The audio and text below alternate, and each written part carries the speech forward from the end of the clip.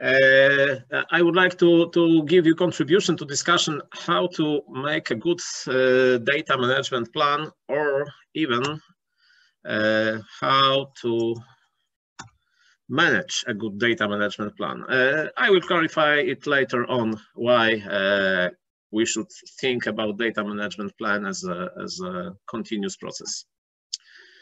Uh, we are working all uh, under umbrella of uh, Svalbard Integrated Arctic Earth Observing System, uh, but uh, SIOS has a bright history, which has strong influence on how we should manage data. And I would like to, to recall this history. so SIOS started at 2008 as ESFRI roadmap infrastructure then SIOS uh, got uh, funding from EU FP7 and it was preparatory phase of the SIOS project ended in 2014. Then uh, effort was taken by Research Council of Norway and uh, mm, also was funding by in-kind contribution of partners uh, or sustaining by in-kind contribution of partners till 2018. Then SIOS has his uh, operational phase. And uh, SIOS in his policy aims to support such uh, initiatives as GBIF, uh, CEOS, uh, ICSU World Data Systems, uh, and uh, WMO. So there are plenty of organizations, SIOS is trying to take the best from them. Uh, which of course has influence how SIOS uh, uh, is approaching to data management issues. Some general problems with uh, data accessibility. Uh, addressed long time ago, uh, I think I have seen this inventory first time somewhere in 2008 maybe but uh, in my opinion is uh, still valid uh, even some issues are stronger now so first of all is how to discover data. Uh, discovery of data is a problem uh, with uh, data management because it's not so easy to find data somewhere in the in the world maybe it's much, uh, it's a bit easier for scientists, but it's very hard to, to, to discover data for people outside the community. Uh, the, another problem is how to access data because uh, there are some policy issues, some data are classified uh, or treated like classified without reason. And uh, uh, very often we have conflict of interest because scientists who are data originator are trying to exploit some added value themselves to data because they have to publish and uh, his uh, their value is is uh, counted from number of publications and publications are produced using data so this keep data unveiled Another problem is how to use data. Uh, very often data are restricted to research use and uh, it's very hard to use data for another purposes, for example, commercial projects. It's maybe not a huge problem for us because all of us are scientists, but uh, for uh, founders it's a problem because uh, when data is paid uh, once, everybody should access this data. Uh, so we have cost of data. Uh, sometimes some organizations are trying to, to, to uh, calculate cost of data sharing uh, in ridiculous way. Uh, normally it should be just a cost of couple minutes and cost of the, the uh, data transfer activity, not a, sharing of, of total data of to, to, total data acquisition cost. Another problem is uh, from domain uh, specific uh, nature. It's a coherence of data. Data is uh, very hard to share between domains uh, due to, uh, let's say, dysfunctional attitude to data harmonization presented by some data originators and data sharing concepts, let, let, let's say in this way. And uh, quantity of data also is problematic because distribution of measurements in most scales is not homogeneous. So we have some areas where uh, data is not covered uh, properly and uh, there are some areas where, where measurements overlap and uh, multiple organizations, many scientists are doing the same activities uh, with data acquisition. And another problem is with quality of data, because if data is not uh, associated with uh, metadata, uh, the data is useless. So no one else is able to, to use just numbers. Uh, data has to be associated uh, with uh, metadata. So another problem, data interoperability. Uh, we are used to work in a, a heterogeneous uh, environment. Uh, we are working with uh, different uh, teams. Uh, we are cooperating with different organizations and quite often some interoperability issues are stopping with data management activities. So what is the data interoperability? In general, interoperability is ability of two or more systems to communicate and interact or be used together uh, despite uh, their differences. And uh, why we should uh, assure interoperability? Uh, because we have to facilitate uh, exchange and sharing of information, at least. And uh, also, uh, we are all struggling for rising availability, uh, access and integration of different data collections, uh, data collections coming from past or data collections uh, uh, acquired parallelly nowadays by different organizations. And also interoperability allows us to facilitate understanding and usage of data and interoperability solves heterogeneity. Uh, so differences in uh, data uh, in general. And how we can uh, assure interoperability using uh, standards uh, standards for data, metadata, services, so many different standards in many diff different procedures, activities with data management. Uh, we also uh, provide semantic interoperability, so we should use common ontology, we should use controlled vocabularies for data management. And when we are talking about data interoperability, we can distinguish different abstraction layers of uh, data interoperability. So we can uh, talk about uh, cooperation of data centers. So we have to, to, to investigate as, as uh, data center managers uh, how to uh, merge our data collections and how to provide to users of data centers heterogeneous uh, aggregated data collections uh, which are useful.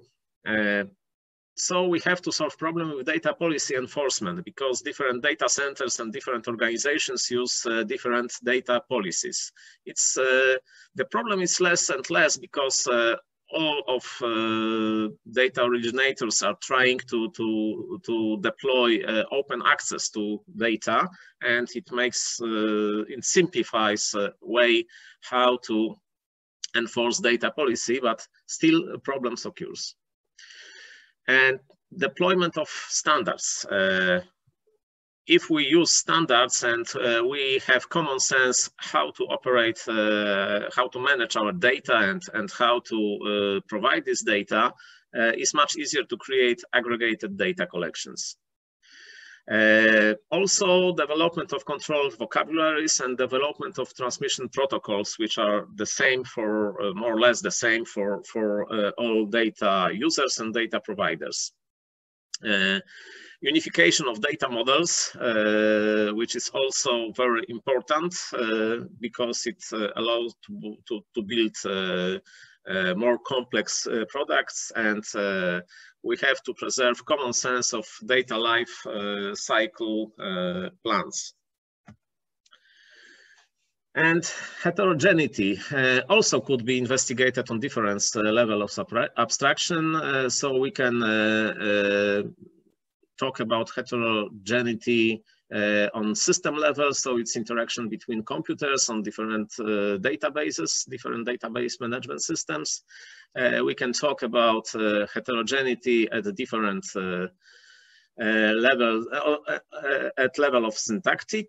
so we have differences between formats such as GML or shapefile. Shapefile is a very popular format, but is closed by Esri. GML is open format. Uh, we can talk about uh, heterogeneity on schematic level. So we have different conceptual schemas. We have uh, uh, for instance, uh, sampling could be defined as a class uh, of method, or we can define it as attribute of measurement. We are, we are, when we are doing measurement, we have to do something. And uh, we also can talk about heterogeneity on semantic level. Uh, for some people, temperature is one word, but uh, for some scientists it will be uh, sea surface temperature. For others, uh, atmospheric researchers, it will be air temperature. Uh, also, when we talk about coastline versus shoreline, uh, when we approach from different directions, uh, we use different different descriptions of this phenomenon and how to uh, convey from heterogeneity to uh, interoperability. On semantic level, uh, we have to use uh, community-specific vocabularies and concepts. Uh, same ontologies, and we have to share concepts uh, across the, the community. On schema level, we can use develop specific markup language, domain-specific markup languages, and we can uh, develop uh, common data schemas and uh, community profiles for data structures. At syntax level, we can uh, use uh, standard file formats like netcdf, uh, shapefile, DXF. we can use the same languages like SQL, XML, GML, and others. On system level, we can uh, use uh, standard transfer protocols and uh, well uh, documented services like WXS.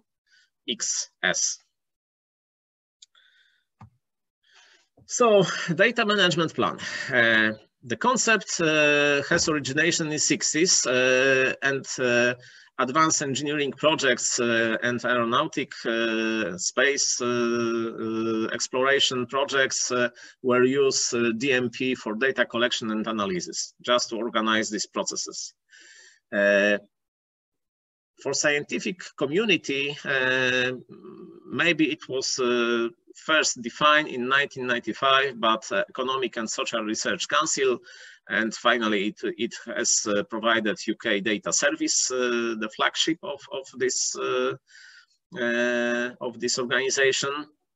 Uh, so uh, ECRS, uh, ESRC has founded, has developed policy that founded research should be openly available to scientific community to the maximum extent possible through long-term preservation and high quality of data management. Uh, later, uh, this concept is was not developed uh, well, even if uh, framework, framework program 7, uh, it was just mentioned that all files and documents have to be kept uh, for up to five years after the end of the project for auditing purposes. And it was kind of preservation of data and uh, it was no clear statement on data sharing but uh, about publications. So open access to publications was strongly promoted by fp7 and finally in horizon 2020 it was the clear and strong requirement for data management plan and it was uh, was not obligatory but but uh, was required to to good uh, to, to have a good rank of, of proposals. So uh, you can see that uh, Horizon 2020 has uh, open research data pilot uh, project. Uh, which result was requirement to develop data management plan. And at the bottom of the, of the slide, you can see definition, the data management plan uh, is something that participating projects uh, are required to develop and uh, data management plan should specify what data will be open, uh, what data will be generated by project, uh, how this data will be exploited, uh, how it will be accessible for verification and reuse, and how it will be curated and preserved. So it was quite simple but very effective, uh, let's say, minimum structure for data management plan. What about data lifecycle? Because data is not coming from nothing and, and is not voiding uh, somewhere in ethereal. Uh, so we have to, to imagine how we can uh, manage this data. Uh, first of all, we have to conceptualize what kind of data uh, we have to create within the project frame or we have to uh, discover somewhere else already collected, already available. Then we are entering the circle, uh, which is uh, which we are spinning across the circle and uh, around the circle, not across around the circle.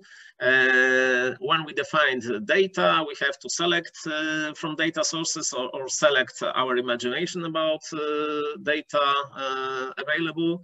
And then we have to ingest the data, then perform preservation action, prepare data for use and reuse. maybe we are doing some transformation of data and this process is continuous. So we can curate it, it we can curate data. Uh, so these processes are data curation uh, uh, cycle.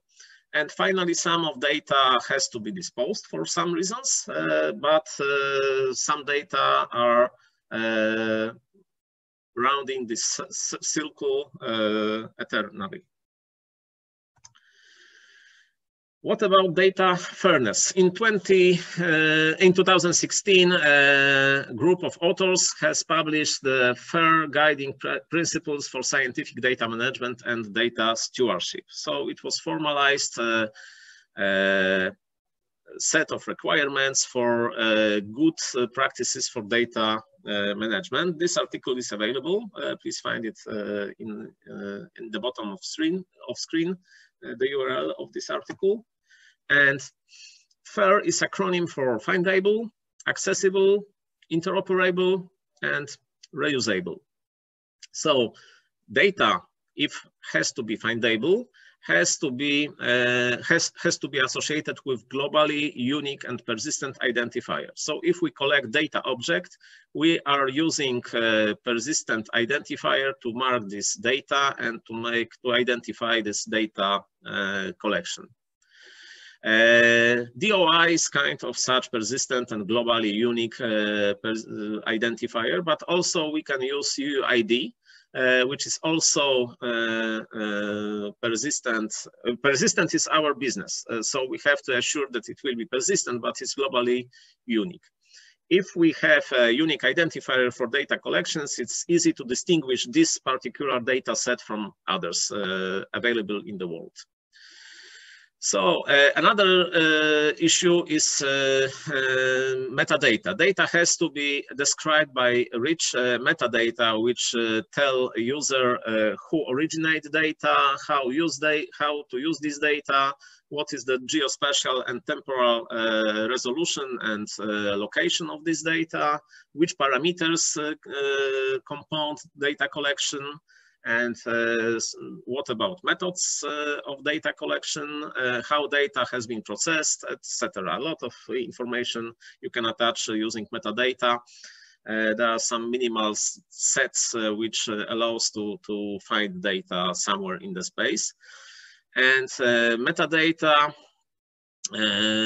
should clearly and explicitly include this identifier mentioned in at the beginning uh, and uh, data metadata should be registered or indexed somewhere in searchable uh, resource so some data centers should have at least uh, metadata records and uh, provide information about uh, data collected somewhere with methodology how to access this data and policy how data could be accessed. Data to be accessible uh, has to use standardized communication protocols, uh, has to be open, free, uh, implementable, and uh, protocol should allow for authentication and authorization procedure for uh, to use this data. And uh, metadata should be accessible. It's very important, even with data is no longer available because it gives information that some data has been collected, maybe some data has been published, has been used for publication, and information and knowledge taken from this data uh, could be also uh, retrieved from some resources. If data has to be interoperable, have to use formal, accessible, shared, and broadly applicable language. Uh, should resist uh, technological development. Uh, data should use vocabularies that also follow FAIR principles and uh, data should include uh, qualified reference to other data or metadata if it is complex data collection. And to reuse data, uh, should data should be uh, associated with uh, clear and accessible uh, usage license and data should be associated with detailed provenance and data should meet domain relevant community standards. Some examples of metadata, the minimal set of, of metadata uh, information uh, is a Dublin core, in my opinion. Uh, so it gives information about uh, who contribute data, what is the coverage, uh, what is the uh, creator of data, uh, temporal uh, location, uh, description about data collection, uh, information about format, uh, identifier of data collection, information about language, publisher, policy, etc but also we can use more complex uh, and more informative uh, metadata standards. Uh, for example, uh, Inspire, which derives from ISO 19115. Uh, it, this uh, format is more complex, is multidimensional, but also is more informative. And if we use this metadata format, it's very easy to maintain this metadata format with GeoNetwork. Uh, which is very useful for some reasons uh, to share data with other data centers, uh, institutions, etc. Because it's a very popular, popular standard. What about licensing? I think everybody have uh, heard about Creative Commons. Uh, usually uh, attribution uh, part of Creative Commons is uh, this uh, license which is used most, the most for, for data sharing. So attribution allow to copy, distribute, display, perform the work and make derivative from this data collection uh, or works based on, on this license uh, and give the credits of the author or, or licensor in the specified manner. Uh, SIOS also has data policy. This data policy is, uh, derives uh, directly from this political context I have quoted at the beginning of my presentation. And uh, most of this uh, uh, data policy go, originate from EU Inspire directive, but also from Global Earth Observing System of Systems. And uh, there are four uh, simple points. In general, uh, data policy should be very compact and very, very short document, which is easy to interpret for everybody. And uh, these four points say that uh, in general, SIOS uh, use open exchange of data policy. Uh, that data, metadata products are shared within SIOS uh, partners. Uh, and all shared data should be available through SIOS data management system with a minimum time, time delay and minimum cost. Uh, normally, it is a contribution of SIOS partner to, to, to uh, SIOS. And all shared data and metadata uh, should be distributed free of charge uh, and uh, no more than cost of reproduction. I think there is no case in the past that that SIOS member asked for some compensation for, for reproduction of, of data. And uh, about restrictions, uh, data uh, that could be restricted, but it's very there are very strict rules, so it's not so easy to restrict uh, data. Uh, we should provide very good reason why we are going to restrict uh, access to data. There are nine points which also conform to Inspire directive, and we can in general uh, restrict access to data if it could compromise the confidentiality of human subjects, uh, cause harm to endangered species or uh, other vulnerable subjects. And uh, also, uh, when data is confi confidential to uh, proceedings of uh, public authorities, so we are not trying to compete with uh, politicians. Uh, and uh, also if there are uh, international uh, affairs uh, issues like international relations, if there are courts of justice, if there are some other confidentialities of personal data, maybe some data come from commercial projects. Uh, so uh, this data also is not available for, for uh, SIOS broadly, but we should negotiate with commercial organizations to release data as frequent as possible. Uh, and of course, point number nine, please uh, take a glance, materials in the course of completion. So if project is ongoing and there is no publication yet, uh, this data could be restricted upon the time of uh, publication of, of uh, project results. But of course, you should consider to, to publish uh, this data uh, earlier and release data for other purposes. Uh, so generic data management plan should consist of information, what types of data, samples, physical collections, software, curriculum materials, other materials uh, will be collected. Uh, so not only data created, but, uh, but also data discovered somewhere else. And uh, uh, how it will be processed uh, in the course of project. Uh, generic DMP should uh, also provide information about standards, uh, about standards for uh, metadata, uh, metadata formats, uh, about content. also, generic DMP should describe plans and protocols for access and reuse for data.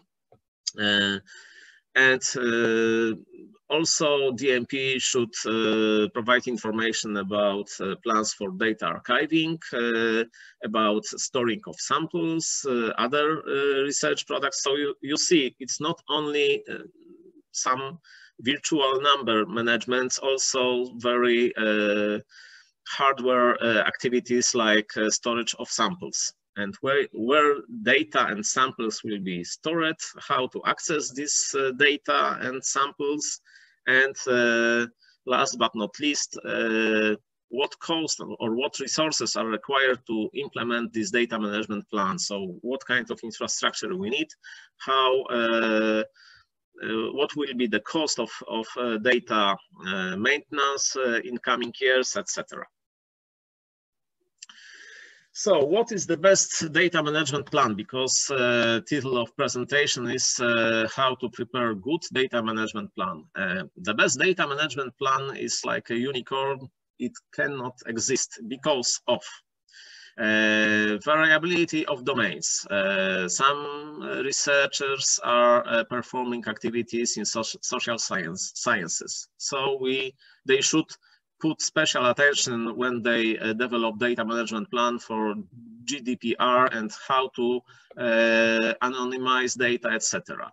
Uh, environmental researchers have no such problem because this data is not following uh, or is not in the scope of interest of G GDPR. Uh, there are very different goals of the projects.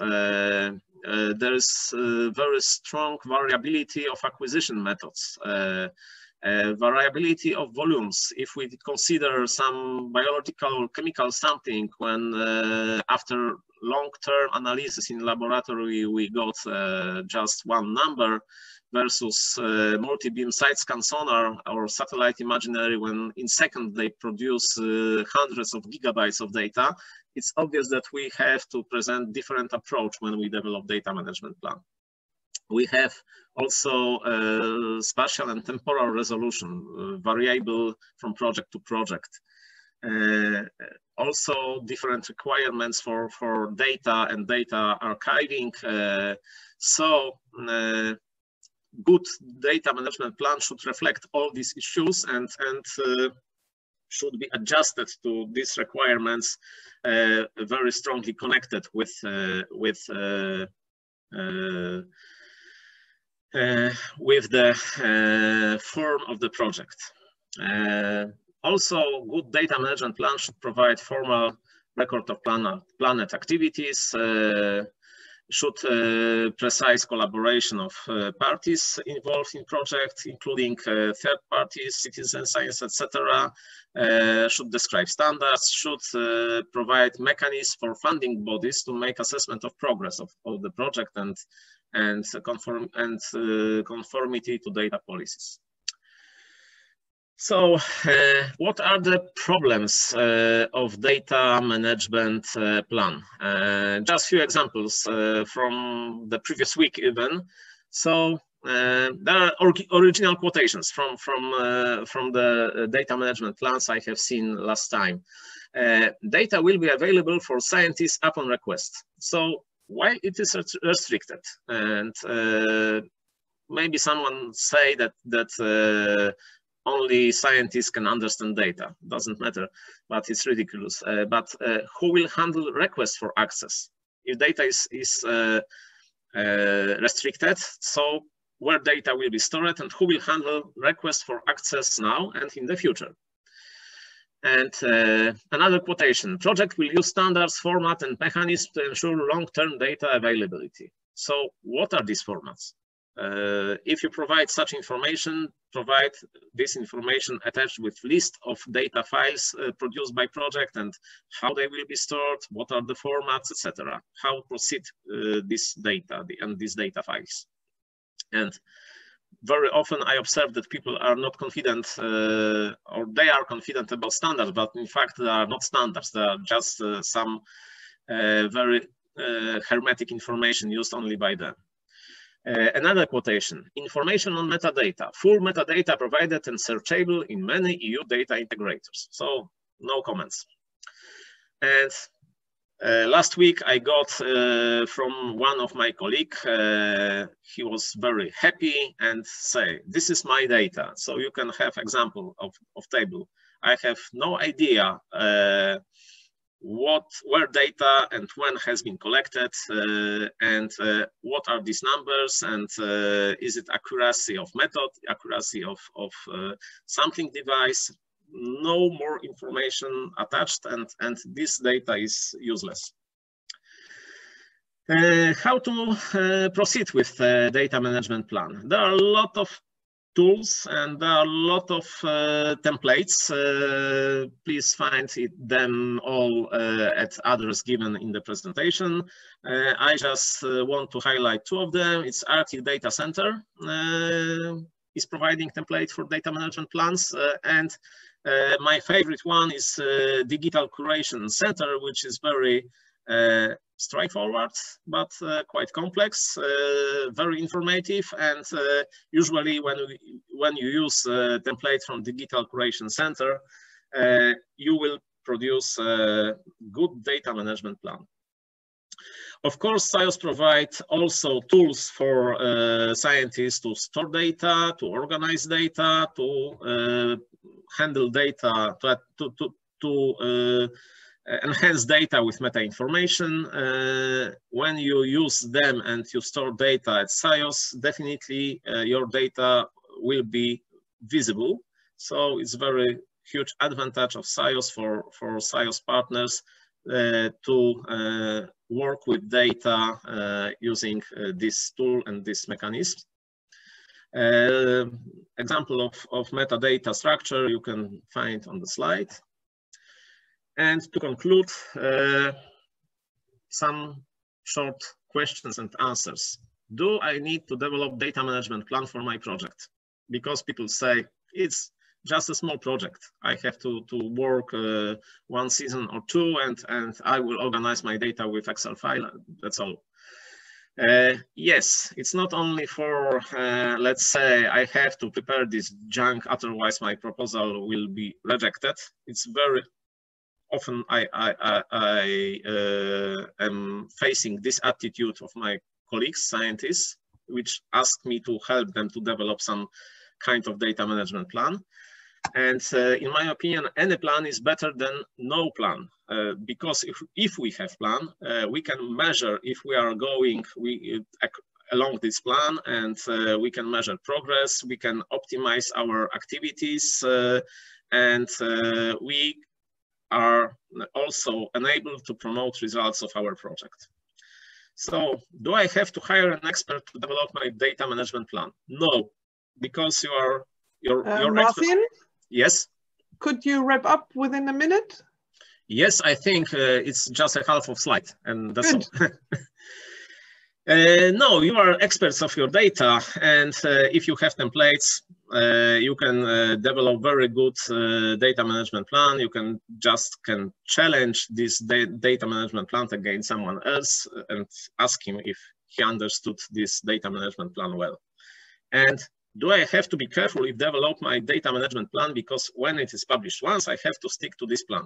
No, or not really. Uh, because data management plan is something which is living document. It has to be managed. Uh, it has to be revised and updated as frequent as needed. Of course, it depends on policy of, of, budget funder because when it is part of application, when we are trying to change this, we have to ask uh, or discuss this with budget founder. But normally it should be uh, something obvious that data management plan is developing uh, during life cycle of project and then uh, the project uh, sustainability uh, period. Thank you.